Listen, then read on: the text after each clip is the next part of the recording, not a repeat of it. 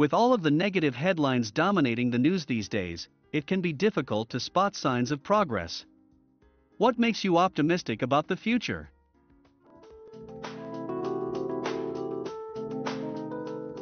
Solar energy plus desalination plus gene therapy. Using gene therapy to build a human that can drink salt water and use sunlight like a plant? Yes, I await the day as well. All seven of my honeybee colonies are currently surviving the winter, and today they're bringing in the first pollen of the year. Edit. Also, please support native bees for why and how at home. Check out Bringing Nature Home by Douglas Tallamy, as well as asterisk butterflies like the monarch and bats. The good news is often quiet and subtle. The bad news is always loud. I try to remember that.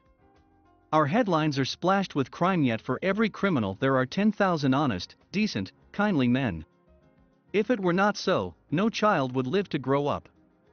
Business could not go on from day to day. Decency is not news.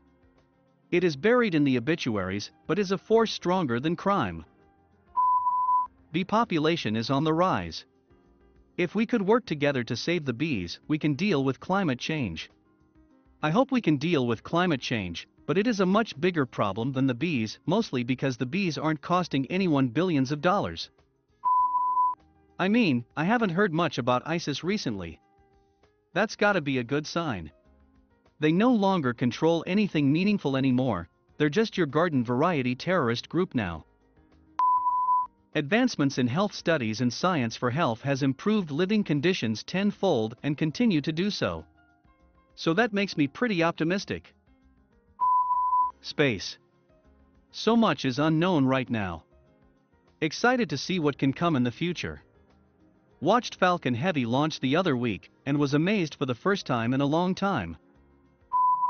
Mental illness awareness is growing rapidly, and people are more and more willing to assist those in need. There's still people like you that donates like half of their money every year, or whatever. Firest bum. Holy shit I didn't realize Bill Gates was the OP until I saw your comment. As someone with mental health issues, I love that the field is getting more attention, and there's becoming less of a stigma of having a mental illness. A relative of mine checked into a mental hospital yesterday for depression and bipolar disorder. The amount of support he received from friends and family was very encouraging. This is the most peaceful time in human history. And it is getting better the better angels of our nature. And the fact a billionaire has a platform to communicate 1v1 with everyday people. Thank you, Reddit. The Better Angels of Our Nature is the best book I've ever read. I've never had something completely change the way I view the world. It puts everything into perspective. The growing acceptance of people who are different. It might be a long, slow battle, but we are moving in the right direction. Everyone is a weirdo, and I love weirdos. The constant technological advancement we're seeing right now, especially in fields like medicine. Your work. Giving away so much money is truly commendable, and I thank you for it. My Girl Scout troop. They bring me hope that the future generation gives a shit. And they also give us thin mints and Samoas. Whenever there's a grim news story, I always remember Mr. Rogers' mother's advice. I look for the helpers. It's a great reminder that people are inherently good and human ingenuity will get us where we need to go, eventually. I'm three months pregnant after the second round of IVF. The fact that my wife and I are going to have a baby together makes me ridiculously optimistic about our future. Marijuana legalization for the USA, which will reduce crime and non-violent offenders in prison, as well as a host of other widespread positive effects. Not to mention undercutting cartels. Realizing that Bill Gates is the OP, meaning we can have personal conversations with people who used to be outside our reach. The world is getting smaller. It's not that the world is getting smaller, our reach is just getting longer.